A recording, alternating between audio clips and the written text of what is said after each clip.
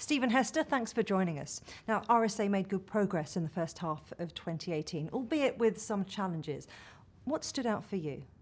We're pleased with the first half progress for RSA.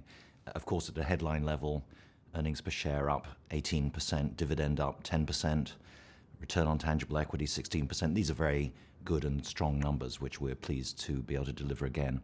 Uh, and uh, perhaps particularly so because beneath the covers, uh, we struggled uh, with a number of things, most importantly, the weather in the first half, uh, which uh, right across our territories, but especially in Canada, was unusually bad.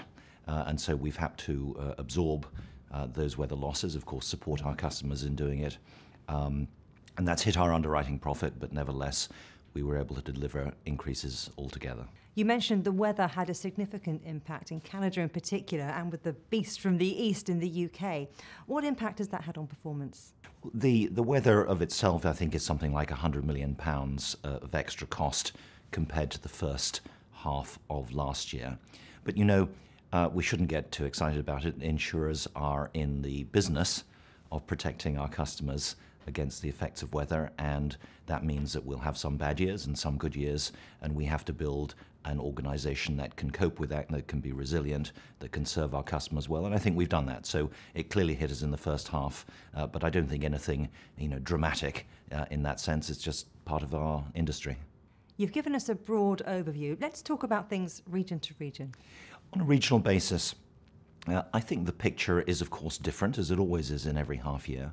So, uh, in Canada, if we start over there, the business is in great shape, with one important exception, which is the weather. Uh, but we've uh, increased uh, the amount of business we do with customers. We've announced a really excellent new partnership with Scotiabank, one of the largest Canadian banks, to be their insurance provider. Uh, and, and so that's great. the costs are in good shape. Our underlying loss ratios are in good shape. Our large losses have come down in Canada, but we had a really bad uh, first half for weather, and so that meant that the Canadian result was disappointing. But underlying, uh, I think I'm really happy with the way our Canadian business uh, is progressing. Uh, when we shift across the Atlantic, uh, I'll move to uh, our, our, largest business, at least by profitability, in Scandinavia, which is really important for the company. And again, the headline in Scandinavia is down from the first half of last year, uh, but I think that the underlying is in great shape. Uh, our really, really, really strong personal lines businesses are showing the best growth they have for quite a lot of years. Uh, our costs are coming down, our loss ratios are in good shape. We had some bad luck with large losses, and we had um, normal prior year development rather than extra good uh, as we had last year. But I think that Scandinavia fundamentally is a great business for us. We're doing the things uh, that will make it stronger, and, and, I don't have too many concerns about that. And then finally, our UK and international business, which last year was the, uh, the source of difficulties for us. I'm pleased to say that at least at a headline level, the UK and international profits, underwriting profits, are more than doubled uh, versus the first half of last year, uh, with a combined ratio of just over 95%. Uh, and so that's, of course, very heartening. Um, beneath that, uh, the standouts actually were our businesses in, in Ireland and the Middle East. Outstanding, excellent results. Uh, in the UK, stronger than the first half of last year, but still not where we want them to be. And, and again, there were some weather effects. You mentioned Beast from the East. and we're finding it, you know, frankly, tough. The market is soft. It's hard to put through price increases. We're determined to improve our profitability, uh, and so we are putting through price increases, and that means some uh, volume impacts uh, that we have to deal with. So we're making progress, but it's undoubtedly uh, an area where we have uh, more that we need to do. You mentioned yourself that the UK faced some difficulties in 2017. In terms of the pace of the recovery, how comfortable are you with that? I'm absolutely convinced that we are doing the right things to make our already strong UK business much stronger. Uh, and, and so basically the agenda is to keep doing what we're doing and to see it through. Some of the things we're doing are fundamental retooling of our capabilities in technology, in digital, in data, is a multi year endeavor. Uh, we saw some really important first deliveries Uh, in the first half of this year, for example, our new nationwide home partnership on a completely new platform going very well.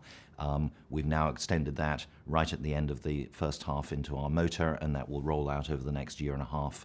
We've just given the go ahead uh, for uh, a big new claims platform development. So there's some really long term investments being made in allowing us to compete at the forefront of our industry. And at the same time, we're correcting areas where we didn't do as well as we would have liked last year, such as in our underwriting of large losses, and they've come down in a pleasing way in the first half. So the UK is a difficult market. It's difficult for us, it's difficult for many other people, uh, and we would like to make faster progress, but I'm convinced we're doing the right things and we are making progress.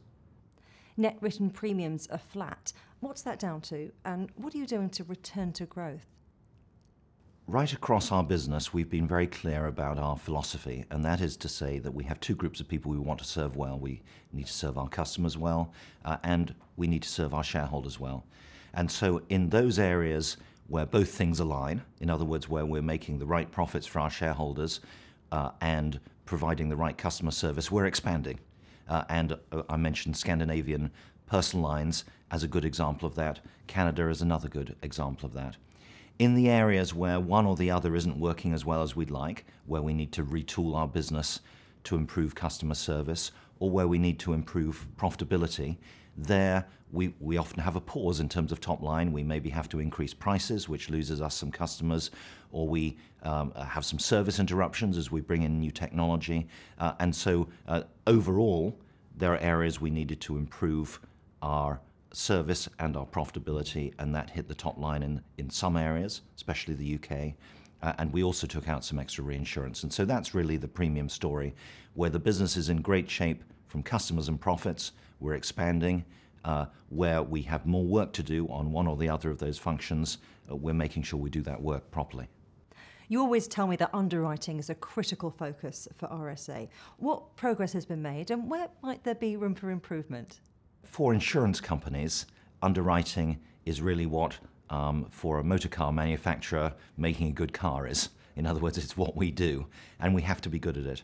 And the world around us is giving us new tools every day to have insights uh, through data, through sophistication of analysis of data, insights on what the risks are out there, how to cope with them, how to price them, how to underwrite them. And so there'll never ever be a year when we aren't trying to be better underwriters and using the tools of the modern world around us to become more sophisticated at the same time as keeping good old fashioned discipline.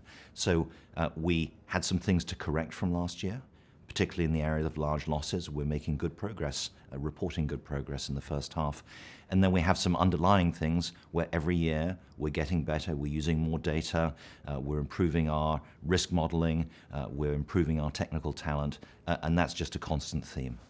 You talk about the tools and innovations that RSA are using, but something you can't control is the weather. What impact will changing weather patterns have on RSA in the long term, and how prepared are you and your customers? You know, of course, uh, there's a lot of debate about weather and there's a lot of debate about climate change, and I, and I guess the majority view is is that we do have climate change happening, and that will deliver more volatile weather patterns. And in, in many respects, of course, that means insurance companies become even more important in people's lives because what we do is help protect against one of the most fundamental risks that mankind faces, which is the risk to their property uh, that comes from weather. And of course, in, in the worst cases, that can be more than just property. Uh, and so uh, these trends are ones where we can help serve our customers and where our customers' need, if anything, is increasing. Uh, it, it keeps us in business, if you like. Now, the flip side of that is there are losses to absorb. We need to make sure that we're clever uh, and sophisticated in understanding how those losses might arise in trying to protect ourselves against them, in trying to price properly so we can still make profit whilst protecting our customers and trying to make sure that our claims operations can handle surges of demand. So all of those things are doing. Weather is volatile. It's very hard to predict one moment to another, and we'll have some great years for weather and some terrible years for weather. And of course, that's the inverse of what our customers experience. Uh, but that's our job. Uh, and I think, uh, in many respects, uh, I'm pleased that the weather is challenging because it keeps us in business. I have to ask you about Brexit. How is continuing uncertainty around Brexit affecting RSA and your customers? Brexit uh, as a direct matter for RSA, and indeed, I think, for the insurance industry generally, as a non event. Um, uh, and so the extent to which we care about Brexit is the indirect effects, the indirect effects on our customers, on the economy, uh, particularly in the UK, uh, which is important for us, uh, on things like exchange rates. So, if those indirect effects should be negative or even positive, I think more likely to be negative, then that can have an impact. But I think it's pretty small uh, and limited. There are other industries that will be much more affected. Stephen Hester, thank you very much. Thank you very much.